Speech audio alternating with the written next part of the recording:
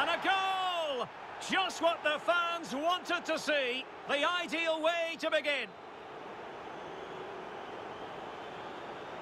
Well, it's the perfect finish, isn't it? As you can see, you can't place it better than that, can you?